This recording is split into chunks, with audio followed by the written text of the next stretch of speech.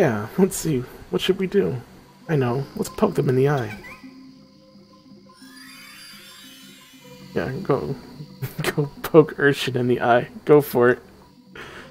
What? Wait a second. This one's looking at us. No way. That's impossible. Mortals can't see us.